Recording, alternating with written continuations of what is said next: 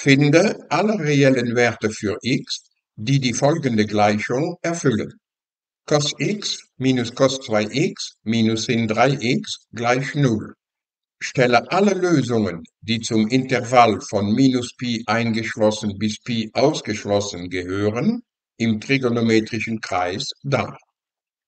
Um diese trigonometrische Gleichung zu lösen, verwandeln wir cos minus cos in minus 2 sin sin durch die entsprechende Formel von Simpson und dann werden wir sehen x plus 2x halbe.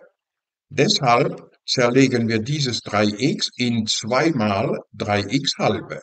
Somit erhalten wir diese Gleichung und hier können wir jetzt die Verdopplungsformel vom Sinus anwenden.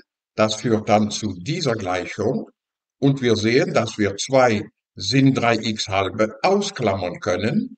Also führt unsere trigonometrische Gleichung zu diesem Nullprodukt. Dieses Produkt ist gleich 0 dann und genau dann, wenn Sinus von 3x halbe 0 ist oder wenn diese Klammer 0 ist. Somit haben wir also zwei Fälle zu bearbeiten. Der erste Fall Sinus 3x halbe gleich 0 führt sofort zu 3x halbe gleich k mal Pi, wo k eine beliebige ganze Zahl darstellt. Und diese Gleichung ist erfüllt, dann und genau dann, wenn x 2kp Drittel ist, wo k eine ganze Zahl ist. Im zweiten Fall ersetzen wir sofort den Sinus von x halbe durch Cosinus von Pi halbe minus x halbe. Das führt dann zu dieser Gleichung und das ist eine Grundgleichung cos gleich cos, woraus wir schließen, dass der erste Winkel gleich ist zu plus minus dieser zweite Winkel plus 2k Pi, wo k eine ganze Zahl darstellt.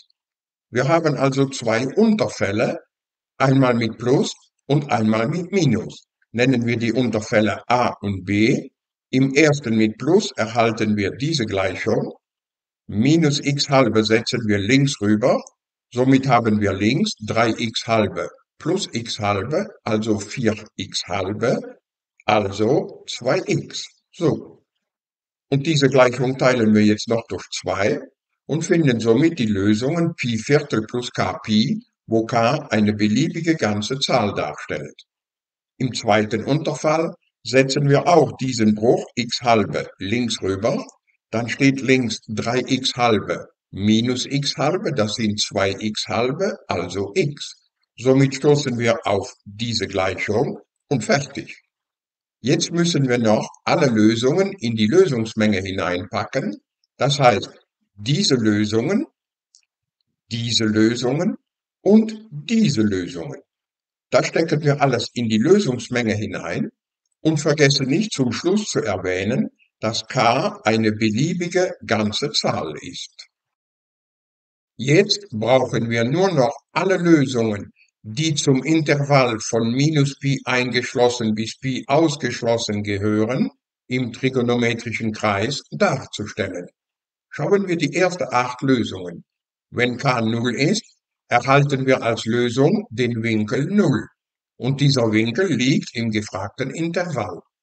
Wenn k 1 ist, erhalten wir als Lösung 2 Pi Drittel, auch dieser Winkel liegt in diesem Intervall wenn K2 ist, erhalten wir 4 Pi Drittel, aber Vorsicht, der Winkel 4 Pi Drittel liegt nicht in diesem Intervall. Deshalb müssen wir 4 Pi Drittel ersetzen durch minus 2 Pi Drittel. Überprüfen wir das im trigonometrischen Kreis.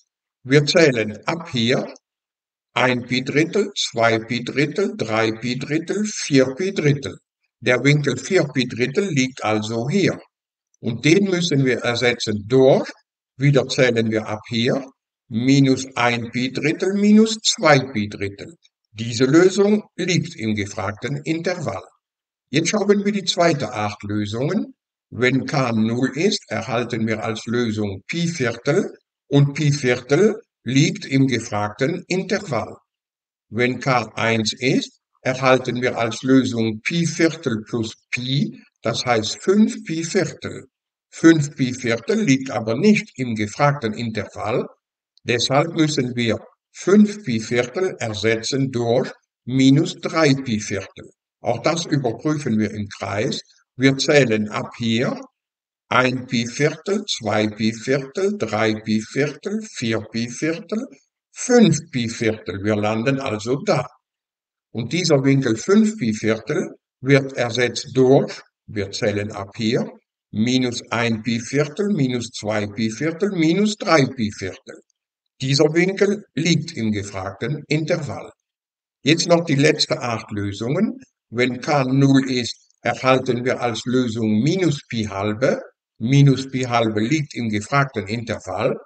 Und für alle anderen k-Werte liegen die Lösungen außerhalb von diesem Intervall und somit müssen wir nur noch minus Pi halbe als Lösung einzeichnen. Der Auftrag ist erledigt.